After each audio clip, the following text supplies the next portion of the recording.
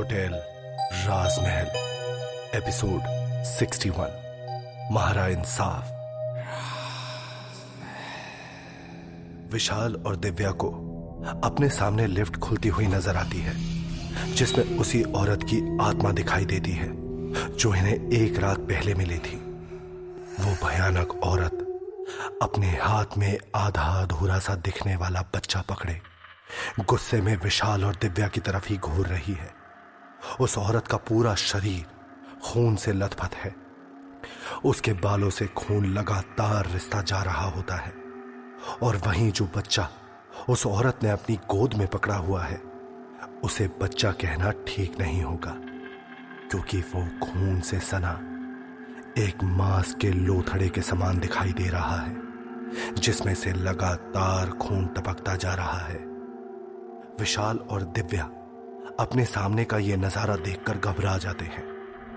तभी उस औरत ने बिना पलक झपकाए विशाल और दिव्या से कहा कहा है मारा और मारी बेटी का कातिल? उस औरत का गुस्सा देखकर और उसकी बातें सुनकर विशाल और दिव्या के रोंगटे खड़े हो जाते हैं। वो डर के कारण बंसी और मुरली को भी पुकारते हैं लेकिन इस वक्त वहाँ पर उनके अलावा और कोई भी नहीं है। विशाल ने धीरे से फुसफुसाते हुए कहा कहाँ गायब हो जाते हैं ये लोग जब हमें इनकी सबसे ज़्यादा ज़रूरत होती है? वहीं उस औरत की आवाज़ से ऐसा लग रहा है मानो कई सारे लोग एक साथ आपस में बात कर रहे हो। उनकी आवाज़ें जैसे आपस में घुल रही हो। वो औरत इतनी ज़ोर ज़ोर से सांस ले रही है जिसकी आवाज़ इतनी तेज और डरावनी है। जिसे विशाल और दिव्या के कान भी बर्दाश्त नहीं कर पा रहे हैं। इन आवाजों को सुनकर दिव्या और विशाल डर से थर थर कांपने लगते हैं। वो वो वो आ रहा है। वो आ जाएगा। विशाल ने घबराते हुए उस औरत की बात का जवाब दिया। तभी उस औरत ने चिल्लाते हुए कहा मैंने को। अगर मारा और मारी बच्ची का कातिल यहाँ ना आयो तो मैं तुम दोनों को मारकर यहाँ आत्मा बना के कैद कर दूँगी।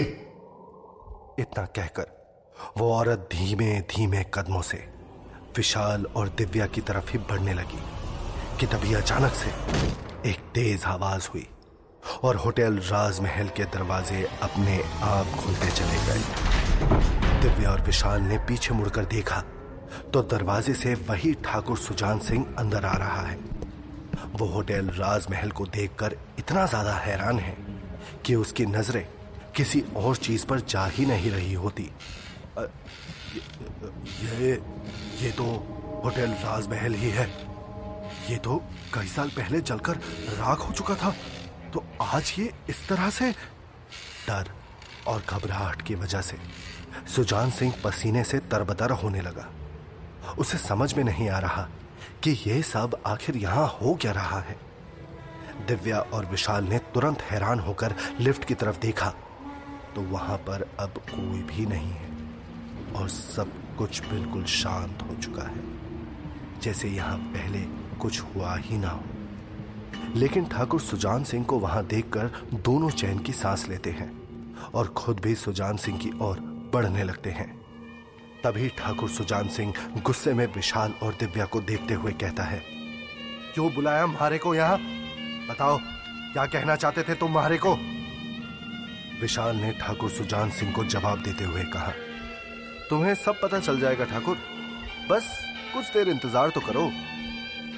विशाल के इतना कहते ही अचानक से होटल राजमहल की सारी लाइटें जलने बुझने लगी और देखते ही देखते ठंडी हवा का तेज झोंका बवंडर की तरह आया, जिससे सुजान सिंह के शरीर में एक सिहरन सी दौड़ गई।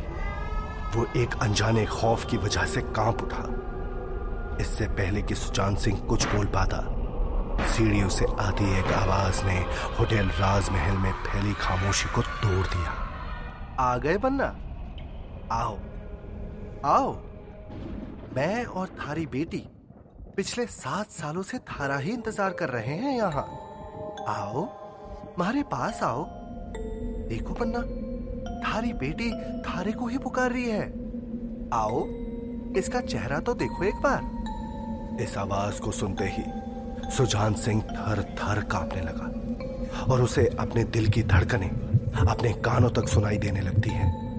और उसे विश्वास ही नहीं हो रहा होता है कि वो ये सब कुछ क्या देख और सुन रहा है। सुजान सिंह ने हैरान होते हुए कहा, ये तो ये तो नंदिनी की आवाज़ है। नंदिनी की आवाज़? पर, यहाँ कैसे? वो तो मर चुकी है। मगर तभी सीढ़ियों से किसी की पायलों की छन छन की आवाज़ उसे सुनाई दी। और धीरे धीरे ये आवाज़ वहाँ पूरे होटल राजमहल में गूंजने लगी। विशाल, दिव्या और सुजान सिंह, तीनों ने एक साथ सीढ़ियों की तरफ़ देखा। उस वक्त सीढ़ियों से नंदिनी नीचे उतर रही है। सुजान सिंह ने देखा कि उसकी पत्नी नंदिनी अपने हाथ में बच्चा लिए उतर रही होती है। सुजान सिंह ने देखा, नंदिनी बिल्कुल सात साल पहले की तरह ही दिखती है। उसका वही भोला मासूम सा चेहरा, वही प्यारी मुस्कुराहट और हाथों से चूड़ियों की खनखनाहट वहाँ आने लगती है। नंदिनी सुजान सिंह की ओर देखते हुए अपना हाथ आगे करते हुए कहती है, आओ कुंवर सा देखो, थारी छोरी को बिल्कुल थारे पे गई है। इस पर चौंकते हुए सुजान सिंह आगे बढ़ता जाता है। उसके कदम जैसे उसके बस में ही नहीं है। और तभी अचानक से सुजान सिंह की नज़रें अपने सामने जो नज़ारा देखती है, वो देखकर उसकी रूह तक काँप उठती है, क्योंकि उसकी बच्ची का चेहरा एक सामान्य चेहरा नहीं है। ना चेहरे की आकृति है, ना आँखें हैं। चेहरा बिल्कुल मांस का लोथड़ा नज़र आ रहा है। और यह देखते ही सुजान सिंह हड़बड़ाते हुए गिर पड़ता है, और जैसे ही उठता है, उसे घबराहट होने लगती है। तभी नंदनी कहती है क्या हुआ? थारी बेटी को नहीं देखोगे? इस पर सुजान सिंह अपनी घबराहट को छिपाते हुए नंदनी से कहता है, मारे को नहीं देखनी थारी छोरी को। इतना सुनते ही नंदिनी का मासूम सा दिखने वाला चेहरा अचानक से बदल जाता है और वो गुस्से में चिल्लाने लगती है। इस वक्त उसका चेहरा विभत्स और बेहद डरावना नज़र आ रहा होता है। चेहरे के कई जगह से मांस के लोथड़े लटक रहे हैं। पूरी चमड़ी जलकर सिकुड़ चुकी है। उस वक्त नंदिनी गुस्से से ज़ोर से चिल्लाती है, जिसकी वजह से वहाँ मौजूद हर एक चीज़ थर थर कांपने लगती है।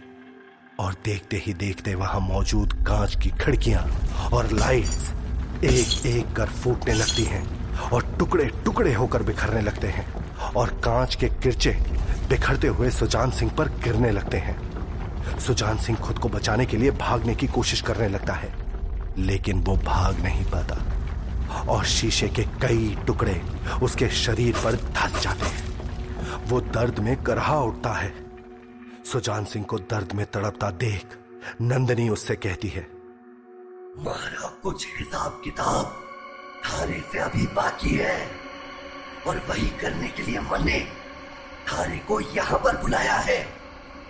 आज मैं अपना हिसाब किताब किए बिना थारे को यहाँ से नहीं जाने दूँगी वरना सुजान सिंह को उस वक्त ऐसा लगता है, मानो वो कोई डरावना सपना देख रहा हो, क्योंकि आज उसके सामने उसकी वही बीवी खड़ी है, जिसे वो पिछले सात सालों से मरा समझकर अपनी ज़िंदगी चैन से गुजार रहा था।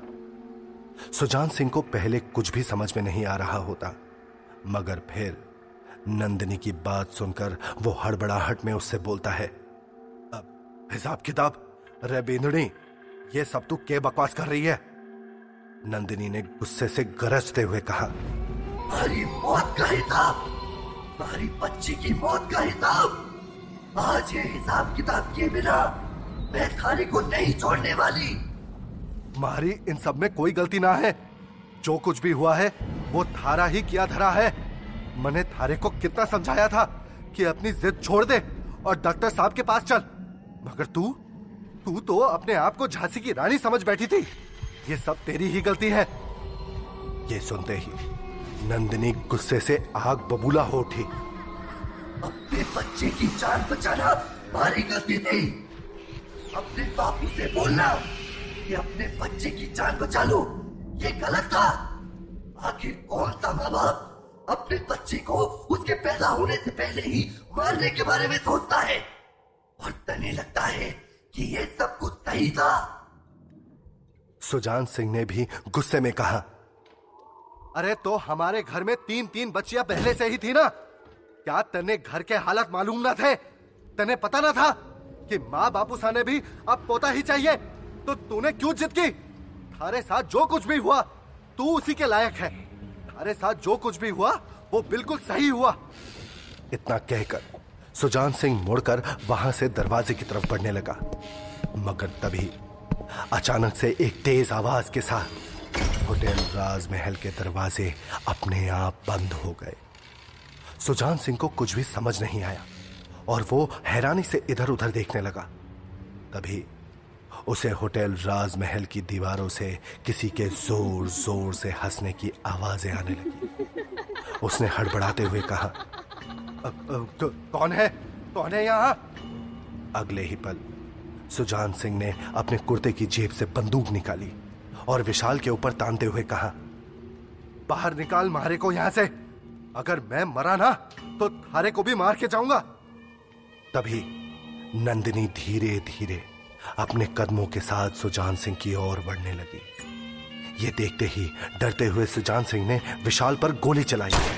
लेकिन तभी उसके सामने नंदिनी आ गई और गोली उसके शरीर में लगी।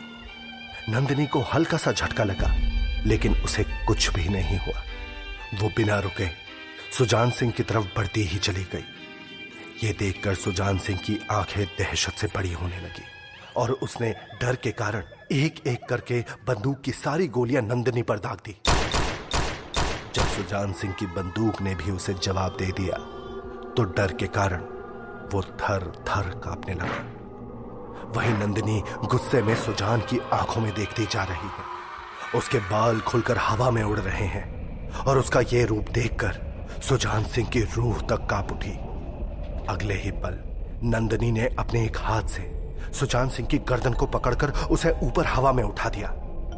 हरी ये क्या कहा हरी और हमारी बच्ची के साथ जो कुछ भी हुआ वो ठीक था? नंदिनी की भयानक गरजती हुई आवाज़ पूरे होटल राजमहल में गूंज उठी। अरे नंदनी ये तू क्या कर रही है हमारे साथ? सुजान ने छटपटाते हुए खुद को छुड़ाने की कोशिश की। मगर उसकी सारी कोशिशें नाकाम हो रही है। नंदिनी को अचानक से भयानक रूप में देखकर दिव्या और विशाल के भी होश उड़ गए।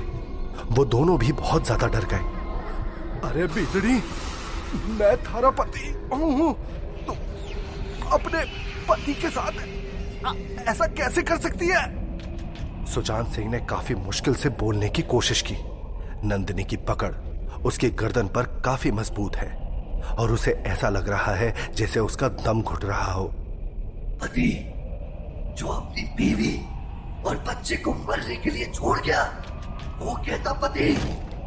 ऐसे पति होने से तो अच्छा है कि भगवान मुझे पहले ही विधवा कर देता।